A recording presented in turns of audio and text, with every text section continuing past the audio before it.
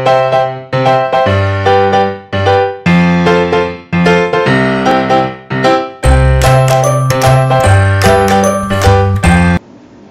అండి నమస్తే. Welcome back to our channel TFT tourism food trend.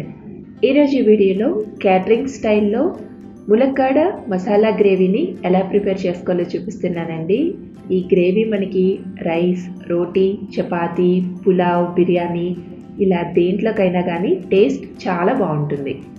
ముందుగా స్టవ్ మీద ఒక ప్యాన్ పెట్టుకుని ఒక టేబుల్ స్పూన్ దాకా ఆయిల్ని యాడ్ చేసుకుని ఒక రెండు మూడు ములక్కాడని ఈ విధంగా ముక్కలుగా కట్ చేసుకుని ఆయిల్లో వేసుకుని లో టు మీడియం ఫ్లేమ్లో ఒక రెండు నుంచి మూడు నిమిషాల పాటు ఫ్రై చేసుకుని తీసుకోవాలి. ఇలా కర్రీని ప్రిపేర్ చేసుకునే ముందు ముల ములక్కాడ ముక్కల్ని ఫ్రై చేసుకుని తీసుకుంటే మనకి ముక్క అనేది గ్రేవీలో త్వరగా ఉడికిపోతుంది. అలాగే తినేటప్పుడు ఆ టేస్ట్ కూడా చాలా బాగుంటుంది. ఇలా ఫ్రై చేసుకున్న ఈ ముక్కల్ని ఒక ప్లేట్లోకి తీసుకుని పక్కన పెట్టుకోండి. తిరిగి మళ్ళీ ఇదే ప్యాన్లోకి ఒక టేబుల్ స్పూన్ దాకా వేరుశెనగుళ్ళని యాడ్ చేసుకోండి. ఇక్కడ ఈ వర్షాకాలంలో వేరుశెనగుళ్ళకి పురుగు పట్టకుండా కోసం నేను ఆల్రెడీ డ్రై రోస్ట్ చేసుకుని ఈ విధంగా స్టోర్ చేసుకుని పెట్టుకుంటానండి. నెక్స్ట్ ఇందులోకి ఒక టీ స్పూన్ దాకా జీడిపప్పుని కూడా యాడ్ చేసుకోండి. అలాగే ఒక ఇంచు దాల్చిన చెక్క రెండు యాలకులు నాలుగైదు లవంగాలను కూడా యాడ్ చేసుకోండి.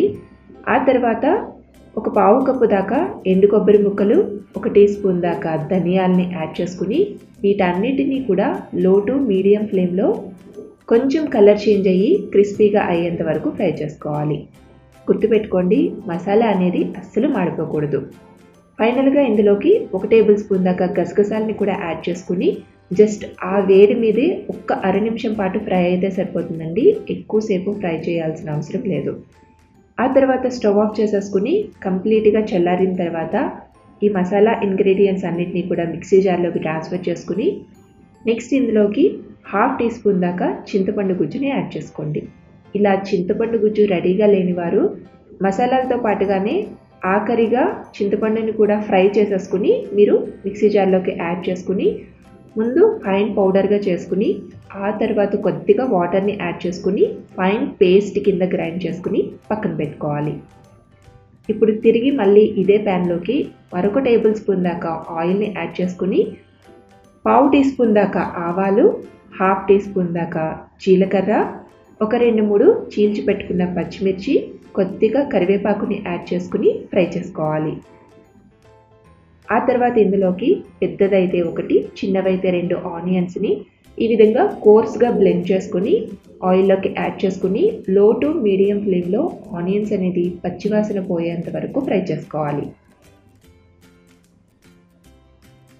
నెక్స్ట్ ఇందులోకి ఒక ఒక టీ స్పూన్ దాకా అల్లం వెల్లుల్లి పేస్ట్ని కూడా యాడ్ చేసుకుని అల్లం వెల్లుల్లి ముద్ద అనేది కూడా పచ్చివాసన పోయేంత వరకు ఫ్రై చేసుకున్న తర్వాత హాఫ్ కప్ దాకా టొమాటోని ఈ విధంగా ప్యూరీగా చేసుకుని యాడ్ చేసుకోవాలి. ఇప్పుడు ఈ గ్రేవీ మొత్తం కూడా ఒకసారి బాగా మిక్స్ చేసుకుని మూత పెట్టుకుని ఒక ఐదు నిమిషాల పాటు మీడియం ఫ్లేమ్లో మగ్గించుకోవాలి. ఫైవ్ మినిట్స్ తర్వాత మనం ఆల్రెడీ గ్రైండ్ చేసుకుని పెట్టుకున్న ఈ మసాలా పేస్ట్ ఉంటుంది కదా ఈ పేస్ట్ అంతటిని కూడా యాడ్ చేసేసుకుని ఇందులోకి ఒక పావు కప్పు దాకా వాటర్ని యాడ్ చేసుకుని మరొకసారి గ్రేవీ అంతా కూడా బాగా కలిసే విధంగా మిక్స్ చేసుకోవాలి. నెక్స్ట్ ఇందులోకి ఒక పావు టీ స్పూన్ దాకా పసుపు టేస్ట్కి సరిపడా సాల్ట్ ఒకటిన్నర నుంచి రెండు టీ స్పూన్ల దాకా రెడ్ చిల్లీ పౌడర్ అలాగే మనం ఫ్రై చేసుకుని పెట్టుకున్న ఈ ములక్కాడ ముక్కల్ని కూడా యాడ్ చేసేసుకుని గ్రేవీలో మరొకసారి బాగా కలిసే విధంగా మిక్స్ చేసుకుని నెక్స్ట్ ఇందులోకి ఒక హాఫ్ కప్ దాకా వాటర్ని యాడ్ చేసుకోండి. ఇక్కడ వాటర్ అనేది మీకు గ్రేవీకి తగ్గట్టు చూసుకుని యాడ్ చేసుకోవచ్చు.